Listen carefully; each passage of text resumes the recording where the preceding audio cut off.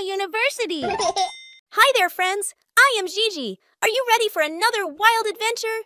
Today, we're heading to the African savannah to learn all about one of the tallest and most fascinating animals on Earth, the giraffe. Wow, just look at that. Did you know giraffes are the tallest land animals in the world? They can grow up to 18 feet tall. That's like stacking three grown ups on top of each other.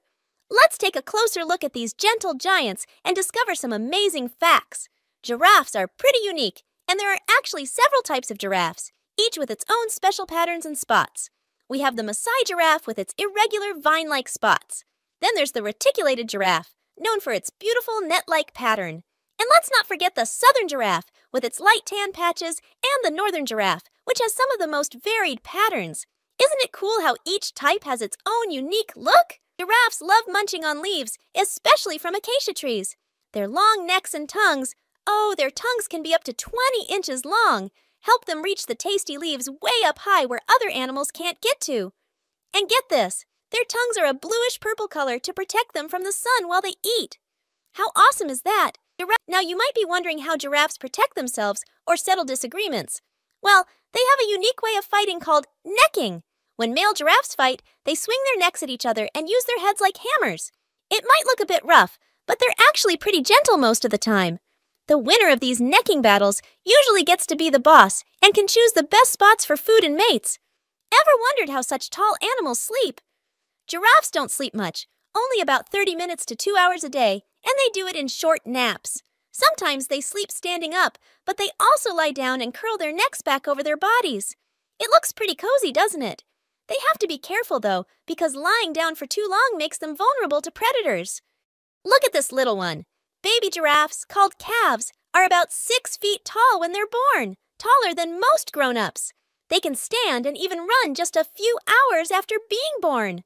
Talk about impressive! Giraffes also have some of the coolest legs around. Their legs are about six feet long, which is taller than me. And those legs help them run really fast, up to 35 miles per hour, when they need to escape from danger. That's faster than a car driving through a neighborhood. Drinking water can be quite a challenge for giraffes. Because their legs are so long, they have to spread them wide and bend way down to reach the water. It's a bit awkward, but they manage just fine. They don't need to drink often because they get most of the water they need from the leaves they eat. Giraffes' long necks are perfect for reaching leaves high up in the trees. But did you know that despite their long necks, giraffes have the same number of neck bones as humans? That's right, seven neck vertebrae. Each bone is just a lot bigger. Let's wrap up with some quick fun facts about giraffes. Did you know that giraffes only need to drink water every few days?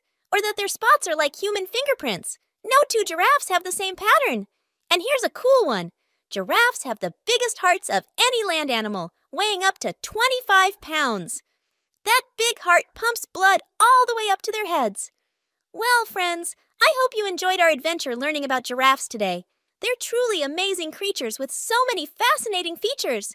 Remember, the next time you see a giraffe, you'll know just how special they are.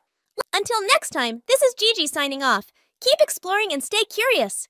Subscribe for more videos!